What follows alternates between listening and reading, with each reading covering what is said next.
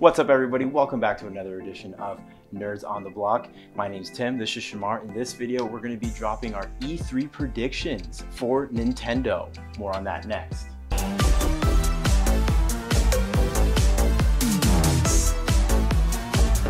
Before we get started, if you like our content, be sure to hit that subscribe button down below and hit that notification bell to be notified on all future content from us. So if you don't know what E3 is, essentially it is gaming's Christmas.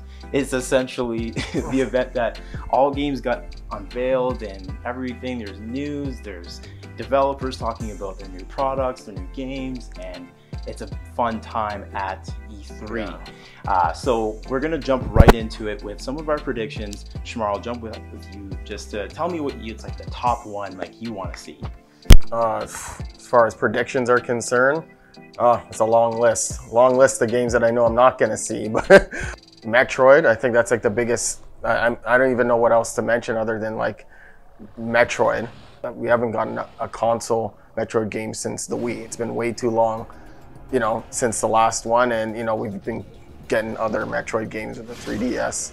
And you know, I'm sure big Metroid fans, you know, just clamoring to get any kind of Metroid fix that they can get. So you know, picking up anything Metroid related besides the one game. the game that should not be named. yeah, Aside from that, yeah, I, I, think one of my biggest predictions, predictions, um, is definitely Metroid for sure.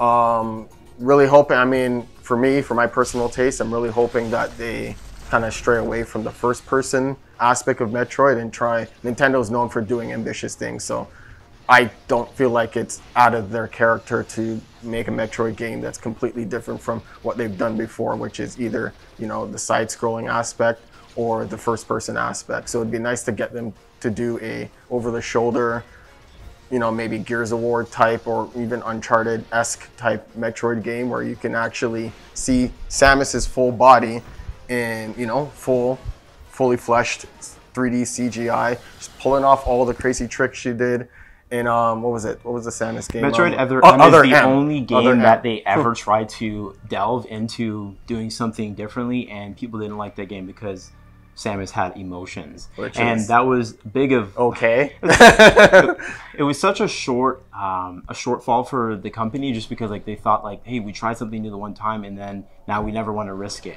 and now that's why you see them like doing something like a Samus Returns or or something like a Metroid Prime 4 because we know like the sales have proven that that game can definitely carry and have excitement and have fan base going crazy. Yeah. But yeah, like I would like to see that, but I don't think it would be likely. I think what we, we would get is uh, back in uh, February or January, I think it was, we made a rumor mill video and there was a title that was rumored called Metroid Resurgence, uh, heavily being rumored that it's taking place after the events of Metroid uh, Fusion, which is arguably, I think, your favorite Metroid game yeah. in the series. And like, I just want to see a continuation of that story. There's a number of games that Nintendo have been making, which they're still kind of sticking to their roots, mm-hmm. and they're not branching out. And I don't know what the mindset is, what the you know the ideology the yeah. ideology is about like but i'm assuming their biggest takeaway when they make anything is don't fix what's not broken which yeah. is very ironic because they're so ambitious with making their consoles. But when yeah. it comes to making video games, they're the complete opposite of that. So, like, you know, if we're talking Metroid, I think we're all talking Metroid, let's be honest. Mm-hmm. But, you know, they should really do something very ambitious, very different. Yeah. Yeah, no, for sure. For Metroid, that would be something I would love to see. Uh, another thing that I would love to see, one of my first predictions would be just like I want to see obviously more from Donkey Kong. Donkey Kong is one of the most iconic characters in all of Nintendo's catalog. But like even like Retro Studios, a developer that's behind the Metroid Prime series, uh, which is a nice segue, is that they they took Donkey Kong Country and was like, hey, like we're going to put him under this like winter landscape and like make it slippy. Like it's gonna make Donkey Kong is already a hard platformer. Like just from the jump. Yeah. And it's like now like you're sliding on everything and like there are so many different worlds that you can go to uh, in that. But I want to see them take the Donkey Kong character in a different light. Like I want to see them maybe do a 2.5D. Like I don't mind 2D, but like I just think like the Donkey Kong Country moniker, they need to move away from it. And I think they like especially if this is going to be a studio that's rumored, heavily rumored right now, that the Super Mario Odyssey team is working on a potential Donkey Kong game, and if that would be more 3D, I would love it. I would love them to like just use the same engine in Odyssey just for Donkey Kong and like use different characters like Diddy Kong uh, and all of them, and just make a, a, complete game. Like Donkey Kong 64 is definitely something that sits at the back of people's heads and be like, I didn't even get through 15 minutes of that. Yeah. Like, so that's definitely one of my other predictions. I mean, I think there's gonna be another Mario game. I feel like there's there hasn't been a single game event that hasn't hasn't no. not shown a Mario game. So you know it's it's bittersweet to say I think there's gonna be another Mario game because it's like. Are we talking Mario like, just like a platform? Or are we talking Mario like a sports game, a party game, a cart? I'm thinking um outside of what we already know, I think there's gonna be another big Mario game that's coming in, or oh, whether it's a sports game or it's a party game or it's an adventure game. Yeah, those are like, fine. I, I feel think... like it's going to be another just general Mario game. Hopefully, it's not a game that you know has been made already. Mm-hmm. And then they're kind of bringing it back, and it's kind of like you're not really bringing it back in a way that we haven't played before. So, you know, if you're gonna take like, for instance, Super Mario World and completely remaster it, that's fine. Yeah. But if you're gonna bring that back and then oh add a few things here and there, but you never really like ultimately you haven't done anything that's any different from what's already been done, then it's like I don't want to see that. So yeah, I don't think there's a place in this year's like uh, calendar year for uh, like full-fledged Mario game. Like we already have Mario Golf Super Rush coming out in just a matter of a few weeks. Like I just think a sports Mario title that's enough for Mario from the year. But if they do have another thing Dang. like coming, I would think it would either be a Mario Kart 9 or it would be a, a, Super Mario Party 2. Yeah. These are also titles that have been heavily rumored as well. Yeah. I can see one of them happening, but again, like maybe Mario Kart 9, like as like there's talk of a Switch Pro, like that's like a game that you can market with that. Um, I just don't think like a Mario adventure game is just likely for this year. Like it's they're they're they're thinking about Zelda, they're thinking about like the Breath of the Wild 2 or whatever that game ends up being called. That's like another title I wanted to talk about because obviously the first Breath of the Wild took the world by storm. Like everybody was just like, okay, it's gonna be another Legend of Zelda game, like Skyward Sword maybe. But yeah. no, like it it did a lot of things right. Yeah. Um, and for it to be even better than that game, it needs to go back to its roots in a sense, which is funny because like it start it's it went so like far left to be like, hey, we're gonna differentiate ourselves to be a whole totally different. I mean, they did a good job doing it, yeah. but it just ultimately, I mean, I don't know. I guess every Zelda fan is an interesting bunch of people because you have the Zelda fans that are like pro anything that comes out from that series, and then you get the Zelda fans that are like myself that are kind of like, okay, I've seen this, we've played this, we've done this already. Let's let's do something new within you know the realm of elements that make Zelda so great. But let's get something new. And I think when it first started out, that's what they were doing. Every single Zelda game was new. It was different. It was fresh. Felt like a new adventure. You know, now it's kind of like they went like you were saying. They went so extreme yeah. to one side, and they did an amazing job with Breath of the Wild for a lot of good reasons. But then, like for example, the end of the game, spoilers for anybody who hasn't finished it yet, and if you haven't, it was too easy. I don't know what you're doing, but yeah. anyway, yeah, um, yeah, it's just it was there was moments in that game are just way too easy, and I'm like, I don't remember any Zelda games feeling like it was like, wow, that was kind of underwhelming. Like usually, like beginning, middle, and end, it's always a consistent. Yeah, consistent. definitely. Like I, I've, I've seen people like stream walking up to Ganon with a twig and beating, and beating like it. And like, that shouldn't even be a thing. That's unacceptable because like, it's like the, the build up in all these games, like even Twilight Princess. Me and you always talk about this. Is just like that game had one of the best finales in the entire oh, yeah. series just because probably like, the best boss battle music oh, too. Yeah, like, it's that too, still exactly. haunting me to this day. Still to this day. But just like yeah, I want them to just go back to like some of the elements that people love about the Zelda series, like those darker games, like the Majora's Mask, the Twilight Princess. Like people want to see those elements being uh, thrown into this title because like this is going to be marking a trilogy actually. Yeah. The Age of Calamity came out last November. Breath of the Wild came out in 2017, and it's like, all right, 2021 is here or is this coming 2022? Regardless, doesn't matter when it comes out. We want a darker Zelda, a game with more dungeons, and a more challenging game. Just, just in general. generally, just generally. But moving on to uh, another game that I would like to see is maybe something more from Kirby. I think Kirby is one of those characters that kind of like what you were saying before, just just a lot of 2D games. Like I remember we uh, both uh, played Star Allies together, and we like crushed that game. What was it like? It was two like days? A, like a day, two, two days, yeah, two and days it was like no. And it's like it's these, these games are too easy. I'm not saying Kirby games are bad, but they're just too easy. They just like they don't take the game seriously. No. They're they're clearly not made for hardcore gamers. They're just made for and and I don't know, but I can't speak for all Kirby fans, but I, I couldn't imagine being a Kirby fan and then playing a game like that and being satisfied. Because the last Kirby game I was like legitimately satisfied with was um, Amazing Mirror. amazing. Mirror. That was the last Crystal one. Shards was good. And Kirby Crystal Shards, Amazing Mirror, Yeah. um, Kirby Nightmare and Kirby Air Dreamland. Ride. No, that was I'm- a racing. game. yeah. Yeah. No, but like that's But what Amazing I mean. Mirror was like the epitome of Kirby games for me because not only was it four player, but you know it was like a very grandiose game with all kinds of like puzzles and challenges. Some things, some areas you couldn't even get to unless you had you played multiplayer. So you Yeah. had the incentive of like, yo, buy the game, guys. Like, guys, Yeah. buy the game so you guys can come together and play the game, experience levels and areas and bosses that you couldn't even begin to you know do that by yourself. So real realistically, you were playing the game one way by yourself, and if you and basically that was like free DLC, right? Because it's like, well, if you have friends with the game, you can go to this area, you can fight this boss, you can encounter this weapon that you probably wouldn't get by yourself. Like little things like that they did in that game, and I was like, wow, I if they make a game like this but in 3D, I'm set. It doesn't have to necessarily be multiplayer, but like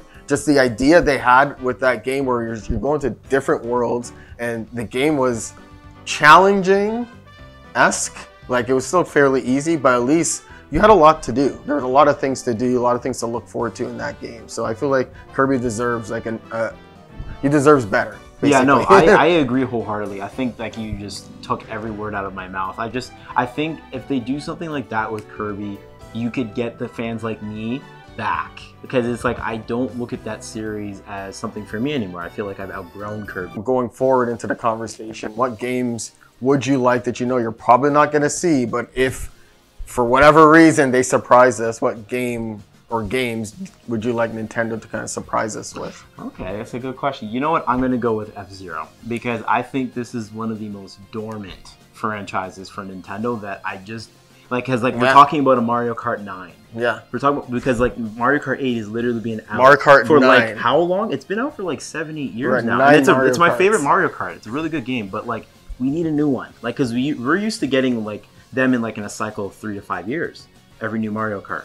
So the fact that they've been like reliant on this one, F Zero is another game that can just give us another high octane like speed racer. And Yeah. it's, just, like it's such and a they were different and game. they were good games. And Yeah. again, you can't have a game like Smash Bros. promoting all these characters And never and these them. characters do not have games. It makes Yeah. no sense to me. Like, Yeah. how are you having all these characters in Smash Bros? I'm a kid playing Smash Bros. Ultimate, seeing all these different characters, and there are no games I can be like, oh, okay, I want to play. I love Captain Falcon. I'm all over that character, but there's no game I can play. And then you want me to go back to the Super Nintendo or the GameCube to play? Are you Where's this game? really like GX? I'm gonna go really? back and play G. No, man. And not every kid. Some that- kids are very like in, in, entitled. the wrong word to use, but some kids don't want to go back and play classic games. You know what? I don't blame them.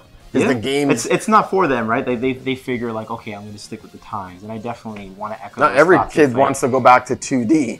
You know, Yeah. the kid the kid that grew up with a laptop and a tablet in his hand, seeing like the graphics we only dreamed of seeing when we were back in the 90s. Are you kidding me? Yeah, come on. you can't expect those kids to want to go back, especially if they don't have siblings or people to be like, hey, you want to play F Zero? You want to play so and so? You know, here's this classic game. Yeah. Not every kid has that luxury of people telling them what games, and not kid any kid cares to do that either. Most definitely. Yeah. And for you, like, what what game would you like? To oh see? Oh my gosh, like. Like anybody that knows me knows I won't shut, shut up about this character, but Yeah. he's the character we all know and love to hate in Smash Bros. Yep. And it's Star Fox. Yes. Star Fox has been like, I don't understand. Like, I love you, Nintendo, and I, I this is not a roast, but like, you got to do better than this, man. You got way too many characters that you, that are being promoted on other video games or other platforms. You got people on YouTube doing their own thing to get their Star Fox fix or fix for any characters that have been lacking. And what do you guys? You guys are just kind of like cool.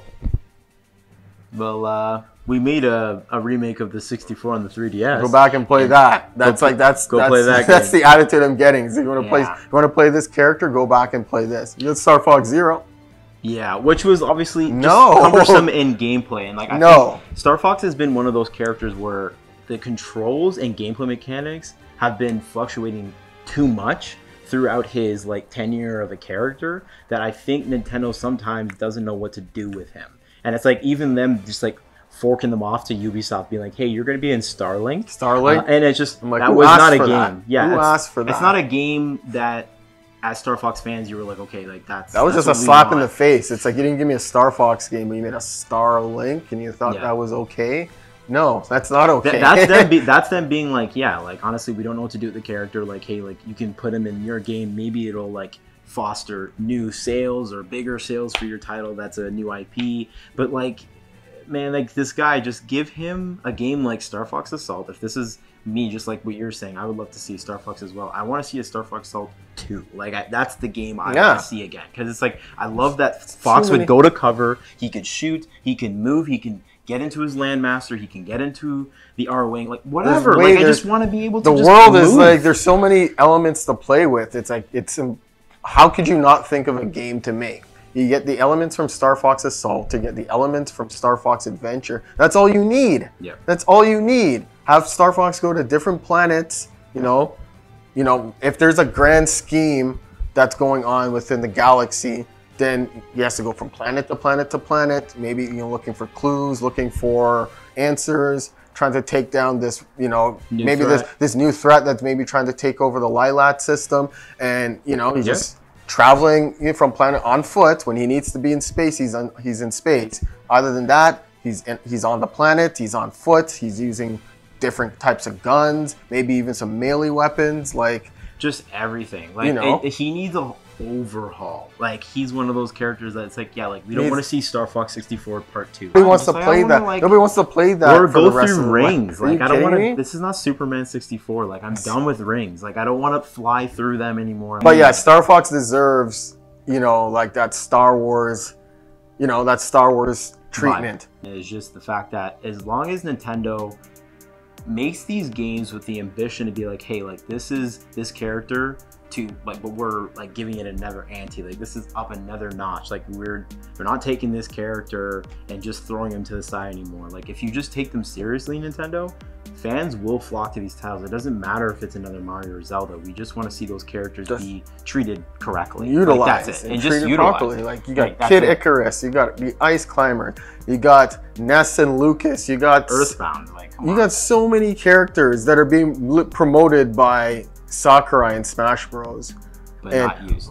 Not being used in any other game. So how are how are fans of Nintendo supposed? What are they supposed to flock to? The same three characters? Or another Fire Emblem game? I think another Fire Emblem game will be announced before we get these games. Like, but yeah, those were our thoughts on Nintendo's E3 predictions for 2021. They have their presser on Tuesday in the morning, and then afterwards they have a three-hour treehouse, which is going to be bananas. I hope that some of the things that we talked about today will come true. Yeah. And yeah, those are our impressions. If you liked them, uh, drop what you think Nintendo is going to announce at E3 in the comments down below. Like this video, share it, and subscribe to Nerds on the Block for more content from us. Thank you for watching. We'll see you next time. Yo, you still here, dog? Yo, subscribe to the channel, bro. Make sure you hit that notification bell to stay locked on all of our content when it drops. What's wrong with you guys? Yeah, bro. Seriously, like it's so easy, bro. Just click the button, bro.